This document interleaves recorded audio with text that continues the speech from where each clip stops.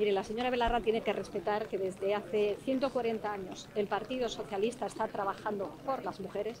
Muchas mujeres llevan muchos años trabajando por las mujeres, yo también. Y claro, cuando un partido como el Partido Socialista lleva 140 años trabajando con las mujeres, la señora Belarra y cualquier persona debería ser más humilde de reconocer los méritos de los demás Ahora va a parecer que hasta que no han llegado algunas personas el feminismo no ha existido. Pues no, hay muchas mujeres muy comprometidas en España desde hace muchísimos años. Mi caso, por ejemplo, que a lo mejor ni la señora Belarra ni algunas otras habían nacido. Así que mi homenaje y mi reconocimiento a todas las mujeres del Partido Socialista que desde hace más de 140 años están trabajando por los derechos de las mujeres. Creo que lo que había que hacer es respetar y poner su valor. En el Ministerio de Defensa hay exclusivamente dos contratos que realizó el Ejército de Tierra. Son dos contratos que están hechos con todos los trámites y toda la tramitación legal y por tanto no hay preocupación ninguna. Lo que hay son dos cosas. Eh, vergüenza por la gente que está metida en esta y yo espero que todo el peso de la ley caiga sobre ellos. Pero en segundo lugar, lo que no se puede hacer es sembrar eh, la duda sobre el trabajo que se está realizando en las administraciones públicas.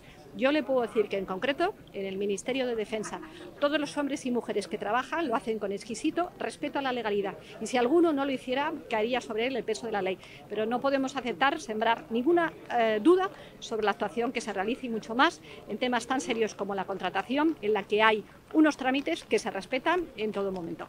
Eh, tolerancia cero contra la corrupción, pero no vale, no vale utilizar la duda y sembrar la duda inadecuadamente e improcedentemente.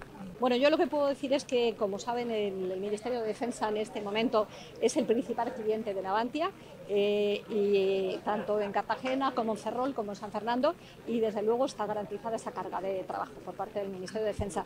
Eh, gracias a ese compromiso que ha asumido el presidente del Gobierno de la incrementar el presupuesto en defensa al 2%, eh, vamos a hacer que nuestras Fuerzas Armadas sean modernas, que tengan lo que necesitan, pero también contribuirá a la creación de puestos de trabajo y es muy importante en Navantia San Fernando para nosotros. Eh, no lo sé, yo lo único que puedo decir es que cuando se cometen errores en una ley, y está claro que la ley del sí es sí, en la parte de reforma del Código Penal, no otra, ha producido unos efectos que no, pues, son aceptables en ningún caso, pues eso hay que modificarlo y corregirlo. No pasa nada. Mire, en política cuando uno comete un error o no comete un error, sino que lo que ha realizado pues no responde a sus expectativas, eh, el sentido de la humildad, que tiene que ser muy importante en política, es reconocer que a lo mejor algunas cosas no producen el resultado querido.